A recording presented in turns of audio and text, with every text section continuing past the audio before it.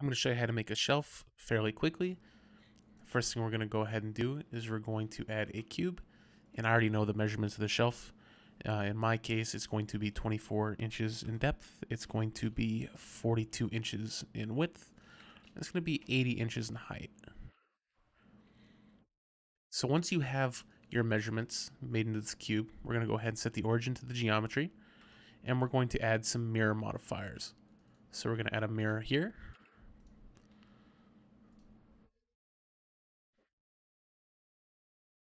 Make sure we have clipping enabled. We're going to add another mirror over here. And what that allows us to do is only have to work on one corner instead of all four. So this is going to speed up our time exponentially. So we're going to go ahead and start by creating a bevel here. And we're going to go maybe, maybe five. That's fine. And now we can separate by selection. And we will have four posts for our frame. Now, we don't need any of these faces at all. Not even the top. The only face we need is the bottom. So we're going to set the geometry. Oh, we're going to go ahead and actually apply the mirror modifier and then set the geometry. And we're going to dissolve all of these, these edges. Okay. So now what we're going to do is we're going to extrude this 0.75. And we're going to extrude it again 0.5. So we've created a frame and we've created a top.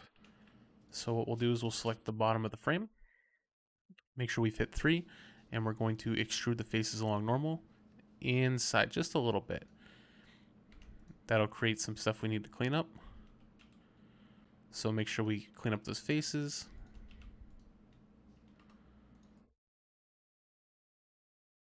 All right, so now we have the frame of the bottom shelf and the top lip where we're gonna have our wood sitting. So as you may have noticed, we have some clipping. We're gonna fix that real quick just by adding a solidify modifier, even thickness, and we're gonna bring it out just a tiny little bit. Doesn't have to be too thick.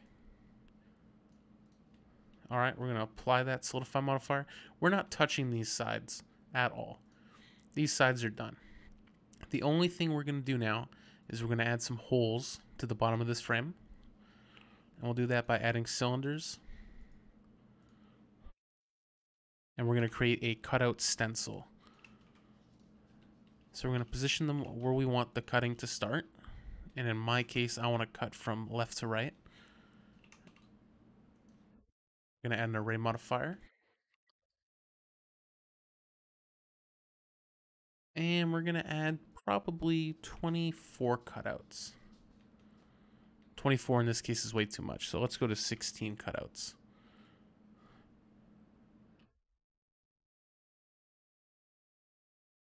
There we go. That looks pretty good. So what we're going to do now is move these forward, and we're going to add a boolean. We're going to apply. Now we have these cutouts. We're going to go ahead and move this shelf up just a little bit, and we're going to add an array modifier. And we know we want five total shelves. So we'll change the count to five. We'll zoom out and we will line them up with the top.